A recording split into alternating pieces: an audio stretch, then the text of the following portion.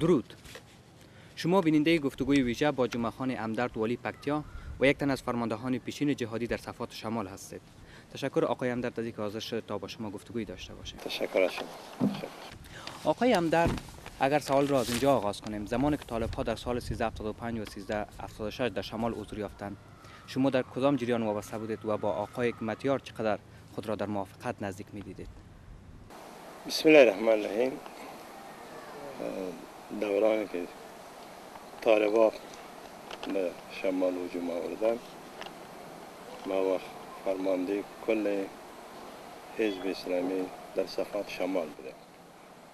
و در وقت ما یک شورای تصمیم گیری حزب اسلامی داشتیم که در از او البته ما بودیم که از بدخشان گرفته تا فاریاب و از گردان تا هرات البته تا او زمان ما یکمال می‌کنیم اکنون خود را چقدر وابسته به جریان حزب اسلامی به رهبری آقای متیار می‌دانید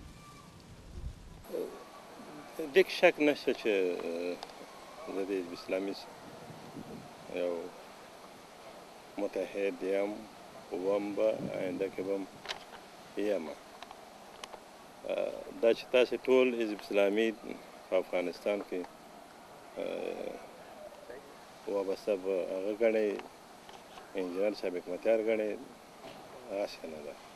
تاسې ګورئ چې دلته حزب اسلامي یو یو فعلا یو یو رهبري لري یو ریاست لري چې دغه ریاست د ارغندې صاحب په غاړه ده. او تیر انتخابات کې تاسې ولوی چې یوازې حزب اسلامي و چې په ټول قوت یې در کدام. حزب اسلامی حال شما وابسته خود را می‌دانند با جریان آقای متیار که در مخالفت با دولت قرار داره یا با آقای ارغندیوال که رهبری حزب اسلامی را به یک شکل که انشاب کردن دارند موږ هغه هېڅ سره چې فعلا د نظام نه د حکومت نه. په تیر انتخابات کې او نه کې حمایت کړی ده بعد از اینکه طالب ها در شمال سقوط کردند و در افغانستان سقوط کردند نقش شما در شمال کشور چی بود؟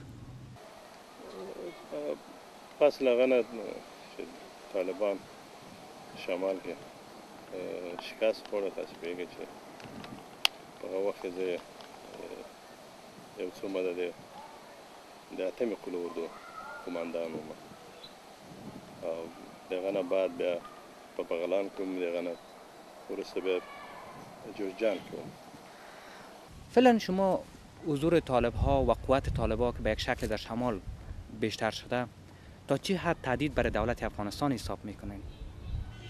دیگه شک نشه چې طالبان د افغانستان په سطح یو تهدید وي خو هغه تهدید چې اه، شمال کې تاسې ورته اشاره کوئ د طالبان په قوت باندې اه، نه وینم اه، دلته یو تعداد د طالبان ترڅنګ د د د دولت په بل شکل باندې مخالفین هم د طالبانو رشد کې رول لري. زه فکر کوم چې طالبان شمال کې دونه قوي نه دي. گفته میشه اکثر افرادی که امروز با طالب ها همکاری داره و با گروه طالبان پیوسته سابقه حزب اسلامی دارند در شمال. که تاسو د حزب اسلامي او طالبانو سابقې ته وګورئ طالبان چې کوم مشکل د حزب اسلامي سره لري د افغانستان هیڅ اسلامي تنظیم سره نه لري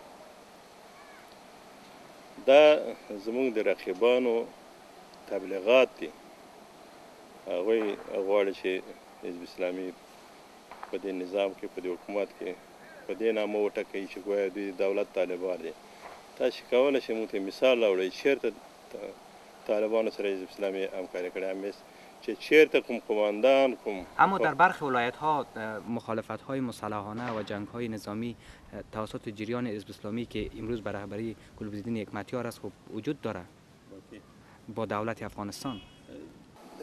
دیک شک نشته اه، هغه حزب اسلامي چې اه، فعلا اه، رهبري انجینر صاحب حکمتیار کوي او هغه په غرو کې دي جنگيږي طبي شکل د هغه نه موږ هغه نه کړی. انکار نه کړی چې هغوی دولت سره مخالفت نه لري. تا د طالبانو سوال نه؟ بیا طالبانو سره طالبانو سره حزب اسلامي چې تاسې په ټول افغانستان کې حزب حزب اسلامی که اسلامي در شمال کشور جریان حزب اسلامی که در شمال کشور نتونستن اونا در با, با پیوند آقای حکمتیار فعالیتشون آغاز کنند اونا با صفوف طالبان میگه پیوسته. چنین دیدگاه وجود داره. آیا دقیق نیست از نظر شما؟ هیڅ کله هیڅ کله هیڅ کله طالب هغه حزب اسلامي طالب سره یو ځای شوی نه ده نه به یو ځای شي خب میایم در موردی که در سال روان آقای حکمتیار نماینده فرستاده بود به خاطر مذاکره با دولت افغانستان. چرا این مذاکره به نتیجه نرسید از نظر شما؟ تاسې ګورئ چې د افغانستان کې دولت په خپل دیدګاوې لري حزب اسلامي چې حزب اسلامي چې مخالف دولت سره خپله دیدګاه لري هغوی کومه طرحه راوړې وه د دولت سره شریکه کړې ده د جناب رئیس صاحب جمهور سره د معاونینو سره د پارلمان سره هغوی دا طرحه ډېره ښه استقبال کړه او مذاکرات ډېر وړاندې لاړل د دې ترڅنګ تاسې وینئ چې د ملک یعنی در این مذاکره دولت افغانستان نخواست که در واقع به تفاهم نزدیک شوند یا ای که جریان حزب اسلامی خواستای بلند داشت. دغه طرحه چې راغلی و د حکمتیار صاحب له طریقه طبیعي دی چې یو څه ټکي باندې به هغه د دولت مخالفت درلودو د یو څه د دولت په وړاندیزونو به هغوی مخالفت درلودو.